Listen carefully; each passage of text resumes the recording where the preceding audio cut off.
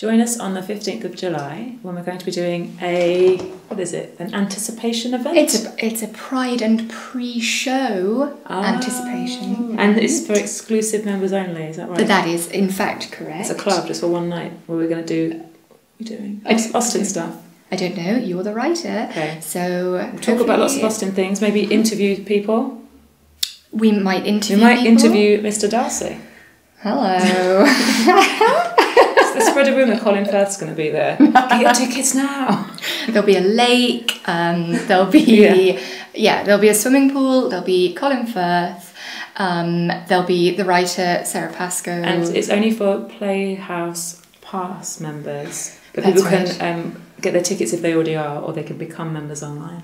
Yes, so get your ticket now, um, and you'll see me, the director, Susannah Tresilian, the writer, Sarah? And um, Colin Firth. and Colin.